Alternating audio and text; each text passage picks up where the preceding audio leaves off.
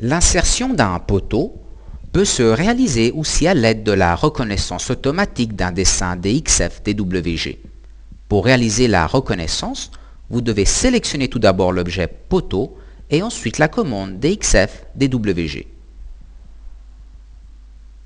Avec la baguette magique, vous devez réaliser un premier clic de souris sur une arête du poteau et ensuite réaliser un deuxième clic sur l'arête opposée.